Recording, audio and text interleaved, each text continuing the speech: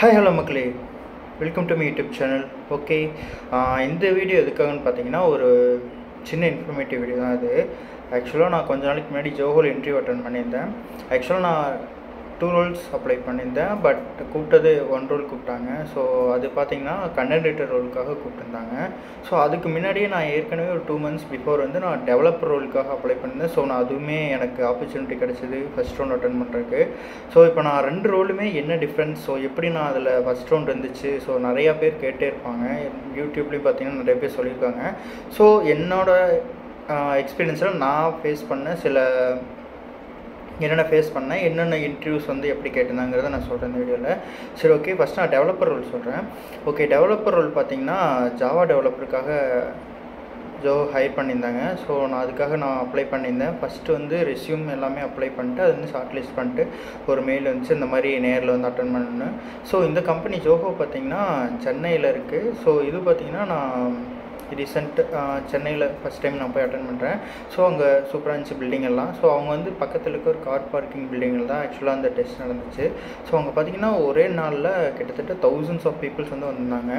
So test பார்த்தீங்கன்னா first round எப்படின்னா ஒரு நைன் ஓ கிளாக் ஆரம்பிச்சது. அங்கே வந்து first round question papers first answer sheet கொடுத்துட்டாங்க. So then after question papers கொடுத்தாங்க. அதுவும் பார்த்தீங்கன்னா ஏபி ஆப்ஷன்ஸ் அந்த மாதிரி. ஒரு ஒருத்தருக்கு வர கொஸ்டின் பேப்பர் இன்னொருத்தருக்கு வராது. ஸோ என்ன சொல்கிறது சஃபர் பண்ணி கொடுத்துருந்தாங்க வச்சுக்கலாம்.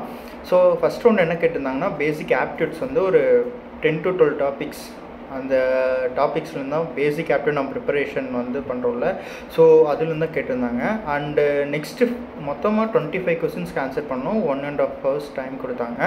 ஸோ அதில் பார்த்தீங்கன்னா ஃபஸ்ட்டு ஃபிஃப்டீன் கொஸ்டின்ஸ் வந்து பார்த்திங்கன்னா ஆப்டியூட்லேருந்து தான் கேட்டிருந்தாங்க. அதாவது time and distance time and work அப்புறம் ப்ரொப்போஷன் ரேஷியோ அண்ட் ப்ரொப்போஷன் கேட்டிருந்தாங்க. ஸோ அதுக்கப்புறம் ப்ராபபிலிட்டி கேட்டிருந்தாங்க. அதுக்கப்புறம் பார்த்திங்கன்னா பைப் சென்ஸ் கேட்டிருந்தாங்க. ஸோ இந்த மாதிரி சில டாபிக்ஸ்லேருந்து பேசிக் ஆப்டிட்ஸ் தான். ஸோ அப்புறம் வந்து பார்த்திங்கன்னா ஒரு டென் கொஸ்டின்ஸ் வந்து ஸ்னிப்பெட்ஸ் அதாவது ஜாவா ப்ரோக்ராமிங் கொஸ்டின்ஸ் கொடுத்துட்டு அதுக்கு வந்து நம்ம அவுட்புட் கண்டுபிடிக்கிற மாதிரி. ஸோ சில டைமில் வந்து அவங்க ஜாவாலேருந்து கேட்குற மாதிரி நான் கேள்விப்பட்டேன்.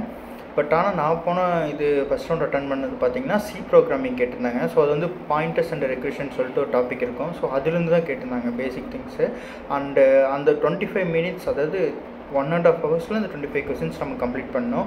ஸோ அதுக்கப்புறம் அதை அவங்க வாங்கிட்டாங்க. அண்ட் அப்போவே கரெக்ஷன் பண்ணாங்க. ஸோ அப்போவே கரெக்ஷன் பண்ணாங்க. அதுலேருந்து கிட்டத்தட்ட சிக்ஸ்டீன் டு டுவெண்ட்டி மெம்பர்ஸ் தான் செலக்ட் ஆனாங்கன்னு நினைக்கிறேன். ஸோ அந்த ரவுண்டில் என்னால் செலக்ட் ஆக முடியல.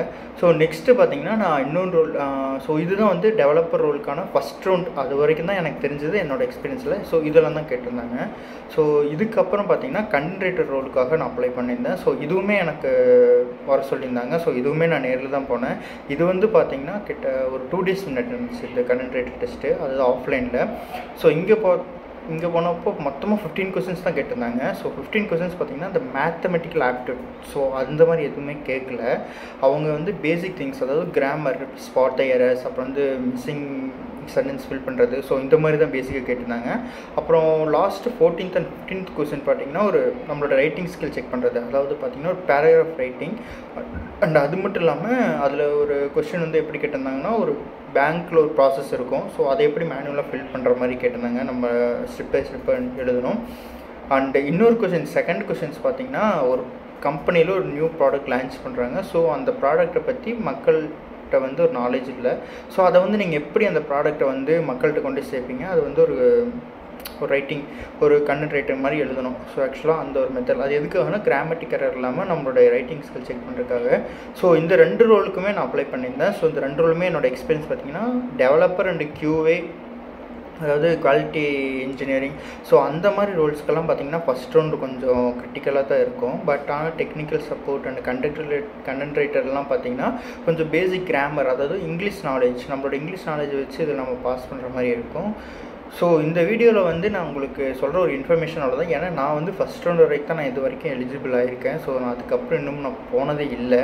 ஸோ இதுக்கு மேலே நான் வந்து ஒரு வேலை ஃபஸ்ட் ரவுண்ட் அதுவுமே இன்னும் கண்டென்டேட்டுக்கு வந்து ஆக்சுவலாக ரிசல்ட் சொல்லுவாங்க. ஸோ அது வந்து நேரில் கரெக்ஷன் பண்ணல. ஸோ இதுக்கு மேலே நான் ஒரு ஸ்டெப் முன்னாடி போனேன்னா கண்டிப்பாக நான் அதில் என்ன பண்ணுறேங்கிறத ஒரு இன்ஃபர்மேட்டிவ் வீடியோவும் மறுபடியும் நான் போடுவேன். ஸோ நான் நம்புகிறேன் அந்த செகண்ட் ரவுண்ட் நான் போடுவேன்னு நம்பிக்கை இருக்குது ஸோ கண்டிப்பாக இந்த ஜோஹோ இன்டர்வியூ மித்த கம்பெனிக்கு ப்ரிப்பேர் பண்ணுற மெயின் ஆஸ்பிரன்ஸ் எல்லாமே படிக்க வேண்டிய ஒரு விஷயம் ஆப்டியூட் அண்டு கோடிங் நாலேஜ் மெயினாக தேவைப்படும். ஏன்னா ஆப்டியூட் என்ன அளவுக்கு முக்கியமோ நம்ம அதோட சப்ஜெக்ட் ரிலேட்டட் ரொம்ப முக்கியம். பேசிக் திங்ஸ் வந்து ஆப்டியூட் அந்த ஆப்டியூட் வந்து ரொம்ப ரொம்ப எல்லா இடத்துலையுமே கேட்குறாங்க இங்கேயும் இல்லை. ஏன்னா ஆப்டியூட் ஒன்றே ஒன்று மட்டும்தான் வந்து ஷார்ட் லிஸ்ட் பண்ணுறதுக்கான ஒரு main process including government exams and எந்த எக்ஸாம் பண்ணாலுமே மேத்தமெட்டிக்கல் ரிலேட்டட் கொஸ்டின்ஸ் இப்போ வரைக்கும் கேட்டது இருக்காங்க.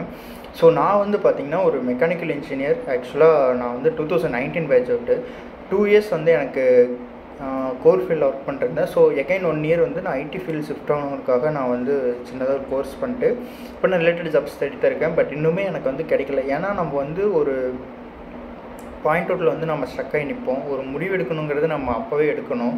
ஆக்சுவலாக பார்த்தீங்கன்னா நான் இயர் கம்ப்ளீட் ஆனப்பே நான் என்ன ஏதோ ஒரு ஐடி ஃபீல்டில் நான் போகணும்னு நினச்சிருந்தேன்னா ஸோ நான் அப்போயே நான் போயிருந்தேன்னா எனக்கு இந்த அளவுக்கு நான் கஷ்டப்படணும்னு அவசியம் கிடையாது. ஐ மீன் கஷ்டங்கிறத விட சான்சஸ் வாய்ப்புகள் ரொம்ப கம்மியாக இருக்குது நீங்கள் வந்து இப்போ டுவெண்ட்டி டுவெண்ட்டி டூ இல்லை டுவெண்ட்டி ஒன்னோ டுவெண்ட்டி த்ரீயோ இல்லை கம்மிங் பாஸ் அவுட் ஸ்டூடெண்ட்ஸாக இருந்தீங்கன்னா ஃபஸ்ட்டு வந்து படிக்க வேண்டியது ஆப்டியூட் அண்டு கோடிங் நாலேஜ் முடிஞ்ச அளவுக்கு அந்த ஃபோர் இயர்ஸ் நீங்கள் காலேஜில் படிக்கும்போது சைட் பை சைடாக இதையும் படிங்க. ஒரு ஐடி ஃபீல்டில் போய் நல்லா சர்வே ஆகணும்னு நினைக்கிறவங்க கண்டிப்பாக சொல்கிறேன் கோர் ஃபீல்ட்லேயும் நல்லா வாய்ப்பு இருக்குது ஸோ நீங்கள் அதை தவிர உங்களுக்கு சாஃப்ட்வேர் இன்ட்ரெஸ்ட் இருக்குது அப்படின்னா ஸோ இந்த மாதிரி ப்ரொசீஜர்ஸ் வச்சு first aptitude then daily coding challenges எல்லாம் பண்ணி பாருங்கள் ஸோ அதுக்காக நிறைய பிளாட்ஃபார்ம் இப்போ நம்மளுக்கு நிறைய ஆப்ஷன்ஸ் இருக்குது நான் டுவெண்ட்டி நைன்டீனில் வரும்போது எனக்கான இந்த சாட் ஜிபிடியோ இல்லை எந்த ஒரு ரிசோர்ஸுமே எனக்கு கிடையாது. எனக்கான கைட்னஸும் சரியாக கிடைக்கலன்னு தான் நான் சொல்லுவேன் ஸோ கிடைக்காதுங்கிறத விட நான் வந்து அந்த ஆப்பர்ச்சுனிட்டிஸ் யூஸ் பண்ணிக்கலாம் ஆக்சுவலாக ஒரு ஸ்டூடெண்ட்டாக இருக்கிறவங்க வந்து ஒரு எக்ஸ்பீரியன்ஸ் காலேஜ் கெயின் பண்ணுறத விட நம்ம அவுட் சைடு எக்ஸ்பீரியன்ஸ் நம்ம நிறைய கெயின் பண்ணணும்.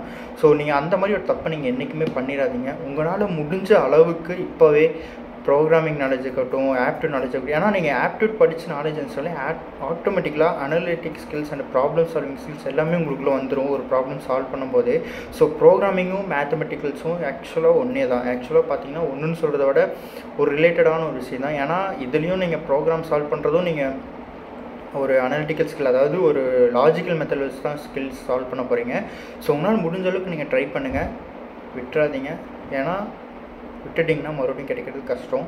ஸோ இப்போவே நிறைய கம்பெனிஸ் ஹைரிங் பண்ணிட்டுருக்காங்க. என்ன தான் லே ஆஃபெல்லாம் வந்தாலும் சில கம்பெனிஸ் வந்து நல்ல ஒரு முறையில் எல்லாத்துக்குமே சூப்பராக பண்ணிட்டுருக்காங்க. அந்த மாதிரி ஜோஹோ ஒரு சூப்பரான கம்பெனி அதுக்கு வாய்ப்பு கிடைச்சதுன்னா கண்டிப்பாக நீங்கள் அப்ளை பண்ணுங்கள் கண்டிப்பாக கூப்பிடுவாங்க.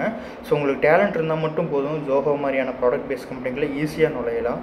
ஸோ தேங்க்யூ வியர்ஸ் என்னோட நான் உங்களுக்கு ஒரு சின்ன இன்ஃபர்மேஷன் கொடுக்கணும்னு நினச்சேன் இந்த வீடியோவில் ஸோ நெக்ஸ்ட் வீடியோவில் என்னால் முடிஞ்ச அளவுக்கு அடுத்து ஏதாவது ஒரு சின்ன ஒரு விஷயத்தை நான் உங்கள்கிட்ட ஷேர் பண்ணிக்கிறேன். தேங்க்யூ வணக்கம்.